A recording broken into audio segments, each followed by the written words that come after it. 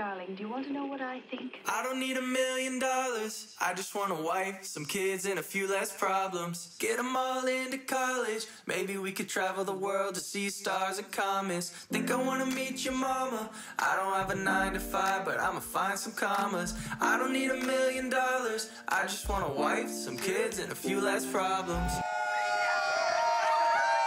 I'm just trying to wake up, feel some peace in the morning. Drink a little coffee till the daylight pours in. Kiss you on the forehead, then I'm headed out the door. When she first told me about Richie, she sat down at the table and said, Dad, I'm going to bring home a guy tomorrow for you to meet. And I really like him, so I want you to be nice.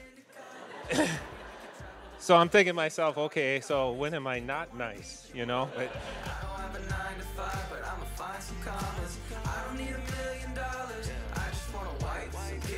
few less problems.